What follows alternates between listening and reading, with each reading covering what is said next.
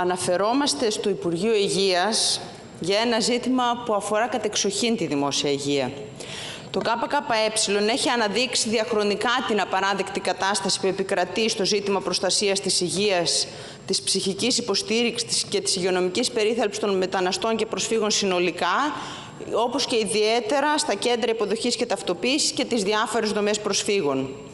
Το σχετικό χρηματοδοτούμενο από την Ευρωπαϊκή Ένωση πρόγραμμα το Φύλος 1 και 2 ε, αποδείχτηκε τελικά ένα καθεστώς μόνιμης ανασφάλειας, ομοιρίας και εμπεγμού για χιλιάδες συμβασιούχους εργαζομένους του προγράμματος. Ήταν εξάλλου όρος της Ευρωπαϊκής Ένωσης το να μην υπάρξει μονιμότητα αυτών των εργαζομένων, αλλά να βρίσκονται σε μόνιμη ομοιρία.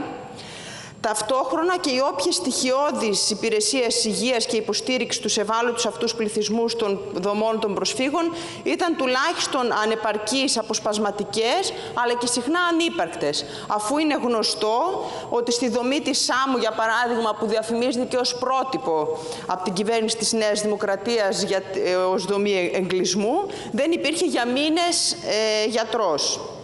Μάλιστα, σε προηγούμενη ερώτηση που κατέθεσε το κόμμα μας από τον Ιούλιο του 2023 προς τους Υπουργούς Υγείας, Εργασίας και Μετανάστευσης, το Υπουργείο Υγείας αρνήθηκε, δεν απάντησε ποτέ. Ενώ στη αναφορά που καταθέσαμε το Μάιο του 2024 σχετικά με το θέμα, το Υπουργείο Μετανάστευσης δήλωνε τότε ότι οι συμβάσεις των εργαζομένων είχαν παραταθεί ως την έναρξη του προγράμματος Ιπποκράτης και πάντως όχι πέραν της 31ης ε, Ιουλίου του 2024. Μιλάμε για ε, εκατοντάδες εργαζόμενους με πολύτιμη πείρα, πολλοί από τους οποίους καλύπτουν εδώ και χρόνια κενά στο διαλυμένο σύστημα υγείας, σε νοσοκομεία, κέντρα υγείας και στο ΕΚΑΒ. Δεν, δεν μιλάμε μόνο για τις προσφυγικές δομές λοιπόν. Και βεβαίως ακόμα και για αυτούς ε, τους εργαζόμενους σήμερα, ε, που βρίσκονται σήμερα σε διήμερη απεργιακή κινητοποίηση, τους ήρθε ενημέρωση εντελώς ξαφνικά ότι τους ανακοινώθηκε και με email μάλιστα η λύση των συμβάσεών τους από 30 Ιουνίου χωρίς στην πραγματικότητα να έχει διασφαλιστεί και η όποια συνέχεια στην υγειονομική προστασία των προσφύγων. Αφού το νέο πρόγραμμα Ιπποκράτης έχει ανατεθεί στο Διεθνή Οργανισμό Μετανάστευσης, ο οποίος βεβαίως με τη σειρά του φέρεται να το έχει αναθέσει σε μεγάλο επιχειρηματικό όμιλο της ιδιωτικής υγείας σε συνεργασία με ΜΚΟ, που ήδη τα στελέχη της συγκεκριμένης, ε, του συγκεκριμένου ομίλου περιφέρονταν στα ΚΙΤ για να διαφημίζουν τις, ε, και να υπόσχονται την απορρόφηση ορισμένων βεβαίως των εργαζομένων και χωρίς να είναι ξεκάθαρο το με τι όρους θα γίνει η απορρόφηση των εργαζομένων αυτών και βεβαίως σε απροσδιόριστο χρόνο. Είναι καθαρό ότι οι διερμηνείς και οι διοικητικοί υπάλληλοι του, του συγκεκριμένου προγράμματος δεν πρόκειται να συμπεριληφθούν στις νέες προσλήψεις. Κανένας ε, επίσης δεν γνωρίζει ούτε τις διαδικασίες, ούτε τα κριτήρια ανάθεσης στο συγκεκριμένο επιχειρηματικό όμιλο της υγείας, ούτε πολύ περισσότερο τους όρους πρόσληψης και εργασίας του όποιου προσωπικού από, ε, από αυτούς συνεχίσει να εργάζεται. Σας ρωτάμε λοιπόν τι σκοπεύει να κάνει η κυβέρνηση με τους περίπου 400 εργαζόμενους του υπάρχοντος προγράμματος Φίλος 2, οι οποίοι τονίζουμε ότι διαχειρίστηκαν επί πέντε χρόνια την παροχή υγείας εν μέσω πανδημίας και στα κέντρα των προσφύγων αλλά και σε νοσοκομεία, κέντρα υγείας ε, και θα πρέπει να διασφαλιστεί γι' αυτό η ένταξή τους σε αναγκαίες κρατικές δομές υπηρεσιών δημόσιας υγείας με πλήρη εργασιακά και ασφαλιστικά δικαιώματα και όχι βεβαίως να συνεχίσουν να βρίσκονται σε καθεστώς ομοιρίας όσοι από αυτοί συνεχίσουν να εργάζονται. Κυρία Υπουργέ, έχετε το λόγο. Σας ευχαριστώ κυρία Πρόεδρε. Κυρία Κομνηνάκα, όπως καλά γνωρίζετε, το αναφέρατε κι εσείς, το πρόγραμμα Φίλος ιδροποιείται από το 2019. Από το Υπουργείο Μετανάστευσης χρηματοδοτείται με κονδύλια κοινοτικά. Είναι ένα πρόγραμμα λοιπόν το οποίο είναι στην κυριότητα του Υπουργείου Μετανάστευσης και είχε ανατεθεί στο ΝΕΟΔΗ από το Υπουργείο Μετανάστευσης συγκεκριμένη εκτέλεση έργων στο πλαίσιο αυτό. Με τροπολογία που κατατέθηκε το Σεπτέμβριο πήρε μια παράταση ως τη 15 Φεβρουαρίου 24 και ε, η παράταση αυτή έγινε προκειμένου να υπάρξει η μετάβαση γιατί αλλάξαμε προγραμματική περίοδο στο ΕΣΠΑ, το γνωρίζετε και χρειάστηκε να υπάρξει αυτή η επέκταση προκειμένου να διασφαλιστεί η κάλυψη των αναγκών α, των ετούντων ασύλου και των προσφύγων που βρίσκονται στις δομές σε τοπικό, σε εθνικό επίπεδο μέχρι να ολοκληρωθούν οι διαδικασίες μετάβασης στο νέο πρόγραμμα παροχής πρωτοβάθμιου υπηρεσιών υγείας και ψυχοκοινωνικής υποστήριξης με το όνομα Ιπποκράτης. Το πρόγραμμα λοιπόν αυτό υλοποιείται από το Υπουργείο Μετανάστευσης. Κάθε Υπουργείο χαράσει το πρόγραμμά του, τις πολιτικές του και διαχειρίζεται σύνομα και με βάση τις διαχειριστικές αρχές και κανόνες τα κονδύλια τα κοινοτικά. Το Υπουργείο λοιπόν Μετανάστευσης, και το λέω αυτό γιατί παρότι δεν είναι στην αρμοδιότητά μου, επιχειρώ να σας δώσω μια απάντηση. Νομίζω ότι ακόμα καλύτερα θα μπορούσε να απευθυνθεί αυτή η ερώτηση στο αρμόδιο Υπουργείο. Έκανε λοιπόν έναν διαφορετικό σχεδιασμό αναθέτοντας αυτό το έργο όχι στο Υπουργείο Υγείας για το σκέλος που αφορά την πρωτοβάθμια. Εξακολουθεί ο ΕΟΔΗ να έχει την ευθύνη για ζητήματα δημόσιας υγείας, δηλαδή επιδημιολογική επιτήρηση, έλεγχο διασποράς μεταδιδόμενων νοσημάτων, οτιδήποτε θα μπορούσε να απειλήσει τη ζωή των ευάλωτων αυτών πληθυσμών. Και έτσι και την εμβολιαστική κάλυψη βέβαια, το συντονισμό παρεμβάσεων σε επίγουσες καταστάσεις για να προστατευτεί η δημόσια υγεία. Και επειδή έχει τύχει να υπηρετήσει υπηρετήσω και ως Γενική Γραμματέας Δημόσιας Υγείας στο Υπουργείο Υγείας και ως Ειδική Γραμματέας για τα Ασυνόδευτα στο Υπουργείο Μετανάστευσης.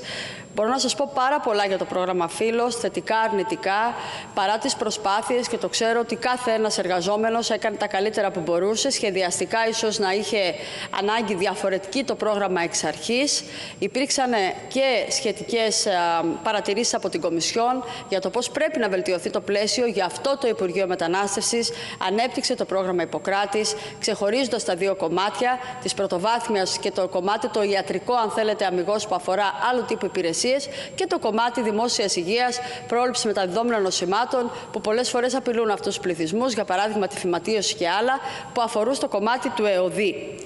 Επειδή όμως δεν είναι σωστό να απαντώ εγώ εκ μέρους του Υπουργείου Μετανάστευσης, το αντιλαμβάνεστε και ειδικά στα θέματα που θίγεται, που αφορούν τις εργασιακές σχέσεις και όχι την ουσία του προγράμματος σε σχέση με τη δημόσια υγεία, νομίζω ότι θα μπορούσε να επαναληφθεί αυτή η ερώτηση έτσι λίγο πιο συγκεκριμένα. Αυτή τουλάχιστον είναι η δική μου σκέψη, μπορεί να α, τη βρείτε χρήσιμη, για να έρθει ο αρμόδιος υπουργός να σας απαντήσει. Από την άλλη, Ξαναλέω, νομίζω ότι είναι σημαντικό να λάβει κανείς υπόψη τα σχόλια της Κομισιόν, τα σχόλια της αξιολόγησης του προγράμματος Φίλος, όπως έκλεισε στην προηγούμενη προγραμματική, γιατί ανεξάρτητα από το πώς υλοποιείται, και να πω ότι έχει γίνει σύνομα η διαδικασία από το Υπουργείο Μετανάστευσης, δεν υπάρχει τίποτα σε σχέση με κρυφά, δεν ξέρω εγώ τι, αυτό που είπατε, πώς ανατέθηκε στον ανάδοχο κτλ. Είναι μια σύνομη, ανοιχτή διαδικασία, νομιμότατη που έχει κάνει το Υπουργείο Μετανάστευσης. Ο Διεθνής Οργανισμός Μετανάστευσης είναι διεθνής οργανισμός που σημαίνει ότι ε, είναι τον Οργανισμό των Ηνωμένων Εθνών. Δεν θα μπορούσε ποτέ να συμβληθεί σε κάτι το οποίο δεν είναι σύνομο. Οπότε, σε σχέση με το κομμάτι που αφορά την κάλυψη των αναγκών, νομίζω ότι είναι προφανές ότι έχουν ληφθεί όλα τα απαραίτητα μέτρα. Σε σχέση με το κομμάτι που έχει να κάνει με τις εργασιακές σχέσεις, που είναι κάτι διαφορετικό, εγώ δεν είμαι αρμόδια για να σας απαντήσω. Ευχαριστώ. Κυρία Κομνηνάκα, έχετε το λόγο για τη δευτερολογία σας. Κυρία Υπουργέ, μας απασχόλησε το προς ποιο Υπουργείο θα πρέπει να απευθυνθούμε όμως σας τόνισα και στην πρωτολογία, επιμένουμε να απευθυνόμαστε προς το Υπουργείο Υγείας, γιατί είναι ένα θέμα που αφορά την προστασία της υγείας, ανεξάρτητα προς ποιον απευθύνεται. Είτε αυτό, ιδιαίτερα όταν μιλάμε για ευάλωτα κομμάτια του πληθυσμού, όπως είναι ο προσφυγικός πληθυσμός και στις δομές που δημιουργούνται πολλές φορές και συνθήκες ε, δύσκολες ε, ε, επιδημιολογικά κλπ. Ε, Επομένως, θεωρούμε ότι η προστασία της δημόσιας υγείας είναι ένα θέμα που πρωτίστως αφορά το Υπουργείο Υγείας και δεν θα πρέπει να δίνεται ε, μέσω του Υπουργείου Μετανάστευσης που λειτουργεί τελικά ως dealer των ιδιωτικών επιχειρηματικών συμφερόντων. Γιατί αυτό ήταν όταν παραδίδεται τελικά η φροντίδα της δημόσιας υγείας σε έναν τεράστιο ιδιωτικό κολοσσό της υγείας και στις διάφορες ΜΚΟ που υπάρχει γνωστή ε, εμπειρία, αρνητική εμπειρία στο πώς λειτουργήσε τα προηγούμενα χρόνια ε, ε, αυτή, μια τέτοια επιλογή. Πολύ περισσότερο όταν ο ίδιος ο Παγκόσμιος Οργανισμός Υγείας λέει ότι η παγκόσμια υγεία δεν μπορεί να υπάρξει αν υπάρχουν τμήματα του πληθυσμού χωρίς φροντίδα υγείας. Άρα ποιος είναι το αρμόδιο Υπουργείο; Δεν επιμένω στην αρμοδιότητα. Να μπούμε στην ουσία. Τι θα γίνει από τη Δευτέρα, τους μήνες Ιούλιο και Αύγουστο, στις δομές που είναι δεδομένο, το έχουν κάνει ξεκάθαρο οι εκπρόσωποι του ΔΟΜ, ότι πριν από τις 15 Σεπτέμβρη δεν υπάρχει περίπτωση να είναι έτοιμοι για να λειτουργήσουν το πρόγραμμα Ιπποκράτης. Τι θα γίνει με την παροχή υγείας λοιπόν σε αυτόν τον ευάλωτο πληθυσμό από τους, ε, τους μήνες Ιούλιο και Αύγουστο; Ποιος θα φροντίζει γι' αυτό; Τι θα γίνει με τη λειτουργία των νοσοκομείων και τις βάρδιες από Δευτέρα; Γιατί σας είπα και, και επιμελώς αποφύγατε να απαντήσετε ότι μέρος αυτών των εργαζομένων σήμερα καλύπτουν για χρόνια κενά και τρύπες στο διαλυμένο και υποστελεχωμένο σύστημα υγείας στα νοσοκομεία, στα κέντρα υγείας, στη ΣΚΟΜΗ, στα, στο ΕΚΑΒ αυτός ο πληθυσμός, αυτοί οι εργαζόμενοι για τους οποίους κανένας δεν απαντάει το τι θα γίνουν. Αν δεχτούμε ότι οι υπόλοιποι εργαζόμενοι των δομών ε, μπορεί και κάποιοι από αυτούς και με ορισμένους όρους να περάσουν ε, στο πρόγραμμα Ιπποκράτης. Αυτοί οι εργαζόμενοι τι θα γίνει; Και να σας κάνω συγκεκριμένα παραδείγματα. Πώς θα βγαίνουν από Δευτέρα οι βάρδιες στο νοσοκομείο Έλενα για παράδειγμα που 4-5 μέρες είναι εργαζόμενοι με τέτοιου είδους ε, προγράμματα; Και να μην μπω στην περιπτωσιολογία. Τι θα γίνει με τα δικαιώματα αυτών των εργαζομένων που βρίσκονται υπό καθεστώς ομοιρίας επί 4-5 χρόνια, για να μην αναφερθούν πώς πετσοκόπτηκαν οι, αμοιβ... οι... αμοιβές τους ε, κατά 40% των εργαζομένων που ήταν στις ε, δομές. Όμως όταν ακόμα και αυτοί, μετά από τόσα χρόνια που έχουν αποκτήσει μια πολύτιμη εμπειρία και θα μπορούσαν να παρέχουν υπηρεσίες στις υποστελεχωμένες ε, δημόσιες δομές υγείας και είναι κάτι παραπάνω από αναγκαίοι, ε, καλούνται σύμφωνα με την προκήρυξη πάλι σε συνέντευξη. Δεν είναι εξασφαλισμένο καν ότι το σύνολό τους θα απορροφηθούν στο νέο πρόγραμμα Ιπποκράτης, ούτε πολύ περισσότερο οι όροι απορρόφησής τους. Τους διάφορα υπόθηκαν από τον ιδιώτη επιχειρηματίας στη συνάντηση για μπλοκάκια κλπ. Δηλαδή με, με, με κανένα τρόπο δεν εξασφαλίζεται η εργασία τους με όρους μονιμότητας, με όρους πλήρους ασφάλισης ε, κλπ. Και τέλος, τι θα γίνει με τους εργαζόμενους, ε, τους, ε, για παράδειγμα, τους διερμηνείς και διοικητικούς υπαλλήλους που δεν προβλέπεται με τίποτα ότι θα απορροφηθούν στο πρόγραμμα Ιπποκράτης και εμείς ρωτάμε και για την ουσία αυτό. Πώς θα, παρά, θα παρέχεται, για παράδειγμα, η υπηρεσία του ψυχολόγου στις δομές των προσφύγων χωρίς τους διερμηνείς; Θα γίνεται με Google Translate στα φαρσί η επαφή των, ε, των ε, ψυχολόγων με τους, εργαζο... με τους με πρόσφυγες; Λέμε ότι είναι και η ουσία προβληματική, το, το γεγονός ότι εγκαταλείπεται πραγματικά στην τύχη του ένα τόσο ε, ευαίσθητο ε, ζήτημα. Σας ε, ρωτάμε λοιπόν ξανά, γιατί αφορά το Υπουργείο σας το πώς θα καλυφθεί, ιδιαίτερα στο διάστημα που μεσολαβεί στο κενό που υπάρχει, αλλά και στο διηνεκές.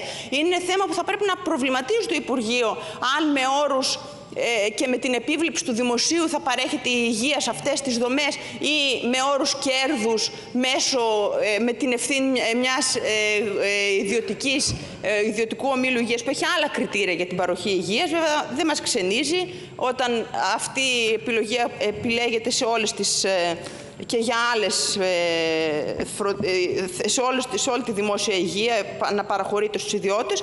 Όμως σας ζητάμε ξανά να εξασφαλίσετε, ολοκληρώνω αυτό, πώς θα ε, ε, διασφαλιστεί η ένταξη αυτών των πολύτιμων ε, εργαζόμενων στις αναγκαίες κρατικές δομές υπηρεσιών της δημόσιας υγείας με πλήρη εργασιακά και ασφαλιστικά δικαιώματα και αυτό δεν αφορά μόνο τις προσφυγικές δομές αλλά τα νοσοκομεία και τα κέντρα υγείας στα οποία πραγματικά είναι κάτι παραπάνω από αναγκαίοι αυτοί οι άνθρωποι και εργάζονται σήμερα και για αυτούς δεν υπάρχει καμία απάντηση του τι θα γίνουν.